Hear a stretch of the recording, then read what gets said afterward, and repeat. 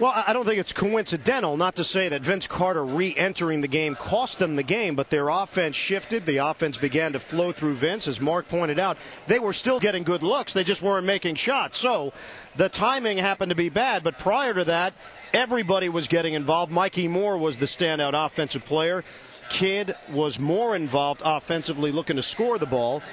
And in the fourth quarter, things got bogged down a bit, and they just couldn't make plays. Forget about just making field goals. They couldn't make free throws. Carter missing a pair and Kidd missing a pair late. Well, Vince Carter made some plays, giving the ball up. Guys wasn't able to knock down shots. At the same time, he also made some mistakes with the ball in his hands.